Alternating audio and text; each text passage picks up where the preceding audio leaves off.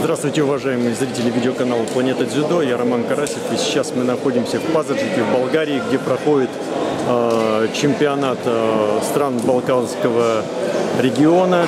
Одной из особенностей этого турнира является то, что здесь был избран э, новый президент э, Балканской ассоциации дзюдо, которым э, президентом стал профессор Борислав.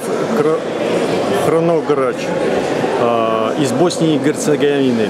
Извините, что немножко трудно выговорить фамилию, но в описании будет точно написано имя, фамилия этого человека, и на ближайшие 4 года он будет возглавлять э, Ассоциацию дзюдо э, стран э, Балканского региона.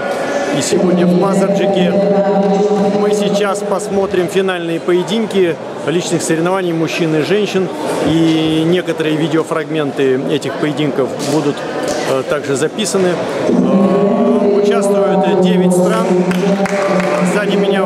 Татами. Сейчас начинается финальный блок. Э, ссылки на некоторые финальные и утешительные поединки будут даны в описании к этому видео. Э, с вами был Роман Карасев, вы смотрели «Планета дзюдо» э, из Пазарджика, Болгария.